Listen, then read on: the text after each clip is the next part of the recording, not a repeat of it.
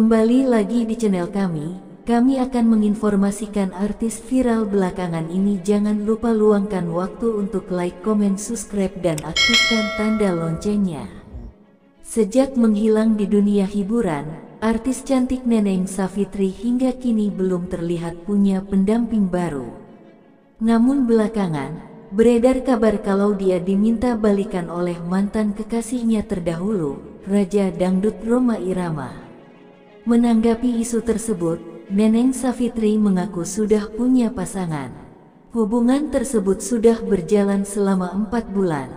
Sambil bercanda, dia ngaku kalau pacarnya warga luar.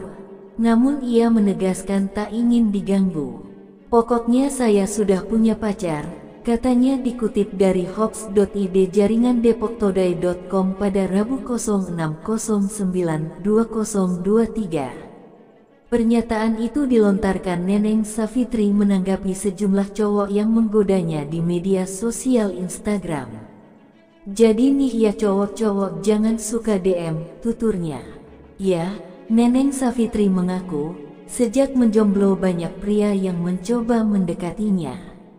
Mentang-mentang janda pada pendekatan, inget aku sudah punya pacar, tuturnya. Bahkan, Neneng Savitri juga menanggapi kabar kalau Roma Irama mengajaknya rujuk beberapa hari ini. Ya gimana namanya mantan? Saya tuh punya mantan pada sudah move on, susah deh. Menurut dia, mantan suami atau mantan pacar yang minta rujuk bukan hal yang aneh. Kalau minta balikan bukan yang mengagetkan sih. Lebih lanjut Neneng Savitri mengaku bersyukur karena itu berarti masih dianggap baik oleh mantan. Ya Alhamdulillah kalau mantan masih memikirkan aku, minta balikan berarti saya punya nilai baik di mata mereka, tuturnya. Selama ini, Neneng Savitri juga masih menjaga hubungan baik dengan Roma Irama. Komunikasi tetap baik, silaturahmi tetap baik. Neneng Savitri masih bersedia menanggapi kabar tentang Roma Irama. Tapi dia bungkam ketika ditanya tentang keinginan balikan. Duh mendadak saya amnesia, sayang perawatan udah mahal kalau omongin itu jadi turun lagi. Ngomong yang baik-baik aja, katanya.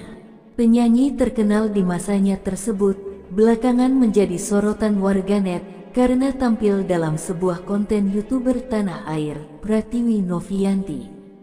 Dalam konten tersebut ia tak hadir sebagai seorang penyanyi profesional yang menjadi idola, namun karena kondisinya yang berbanding terbalik dengan Neneng yang terkenal pada masanya.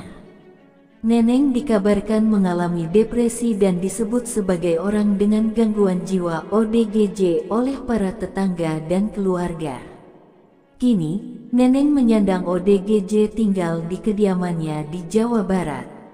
Kabar mengenai kondisi penyanyi dangdut terkenal ini pun sampai YouTuber Pratiwi Novianti pada Senin. Neneng Savitri tampil dengan balutan kain songket berwarna merah. Ia duduk di depan grand piano yang diletakkan di lapangan dengan posisi berada di depan Roma Irama. Sambil bermain piano, Neneng Savitri mengawali pertunjukannya dengan membawakan lagu Cinta Kok Dilarang karya Guru Putra. Usai menyanyi, Neneng Savitri menyampaikan rasa bangganya bisa tampil bersama Roma Irama. Sejak intro lagu dimainkan, para tamu undangan dan hadirin dilangsung heboh turun ke lapangan. Mereka langsung mengerubungi Neneng Savitri dan ikut berjoget. Tak sedikit juga yang merekam aksi Neneng membawakan lagu tersebut. Seisi istana tampak menikmati lagu tersebut dan kompak berjoget. Tampak juga Roma Irama ikut bernyanyi dan mengangguk-angguk sambil menggoyangkan bahunya dari tempat duduknya. Tak hanya Roma Irama, Neneng Savitri juga tampak tersenyum beberapa kali saat mendengarkan lagu tersebut. Ia menikmati lagu yang dibawakannya itu sambil joget dari tempat duduknya.